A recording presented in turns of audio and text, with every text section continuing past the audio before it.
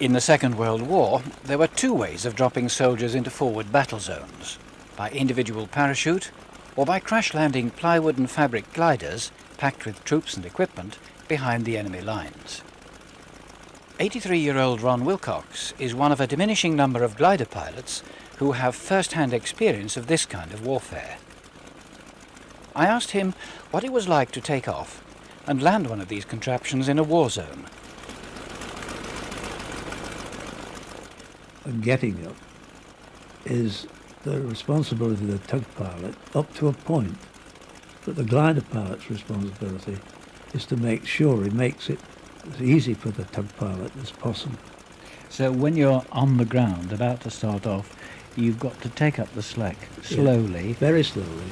And then as he accelerates, you will try to get your, as soon as you feel that the, the glider is ready to fly.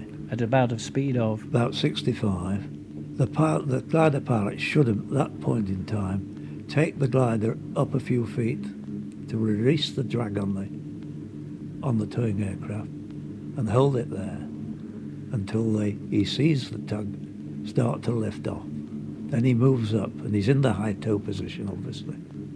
In other words, the rope is above the, the towing aircraft. So he stays in the high tow position and he keeps in that, as the tug goes up, he goes up and stays in that position. And when the tug pilot's ready to make his turn, he, the, the glider pilot will spot that immediately and go around at him. So it's a fairly straightforward thing, but the, the big thing is if you've got a full load, you've got to make it as easy as possible for the tug pilot to get that power up plane off the off the ground with as much energy and power in as possible.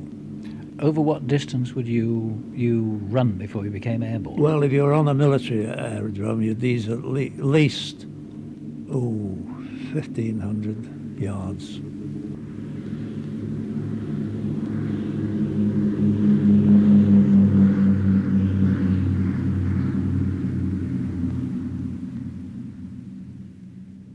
So you're in the air and you're beginning to climb? Yes. The flying height was round about 4,000, 5,000 feet, somewhere between 4 and 5,000, until you got near your landing zone.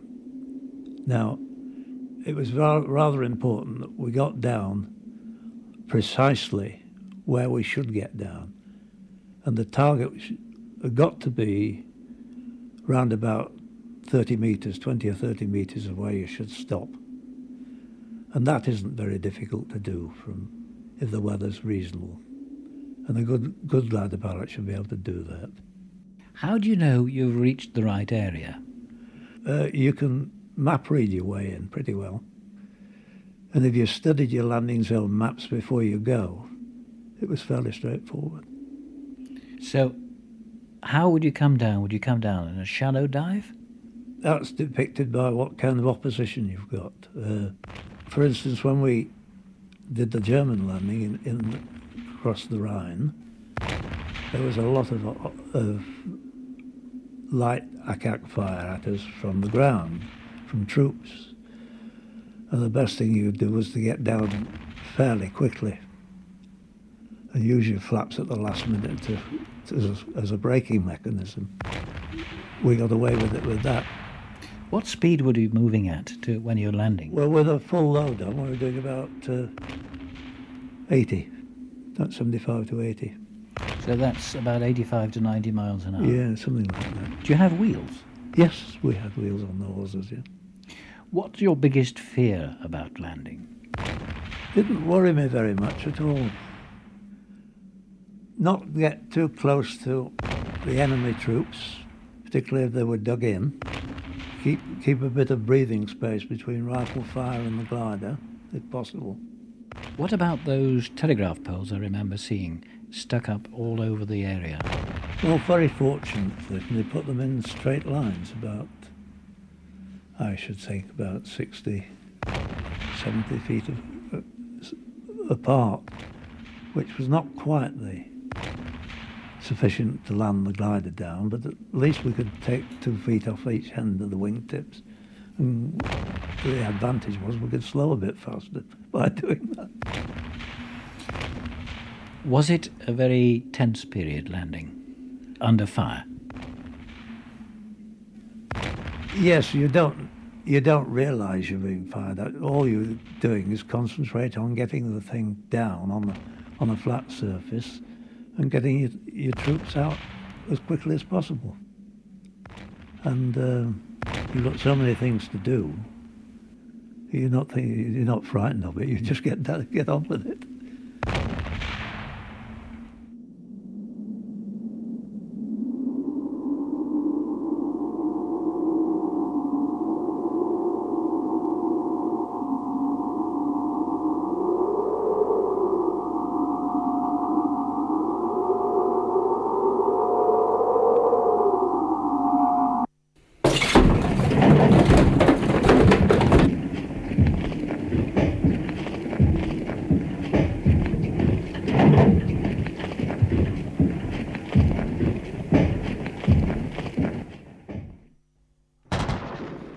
Right, you're down. What happens next?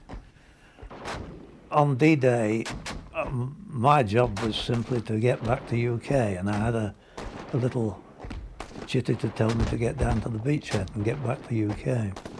Obviously, if they wanted another resupply, they were going, going to use the gliders again. So you went over on the afternoon of D-Day, That's right, yes. and you were back in England. On the 8th of, uh, 8th of June. So that's two days after. That's right.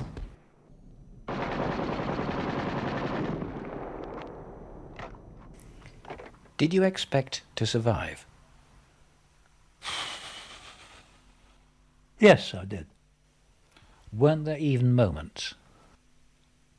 When I found out Nobby was actually dead in the slit trench, I think uh, Nobby was your co-pilot. that's right. Why am I still alive and he's not? He's not. You know, you can do nothing with blast. You can, nothing you can do. Your head is stove in with the blast from a big mortar shell. But why, why the blast went his way and not my way is beyond, you know, it's one of those things.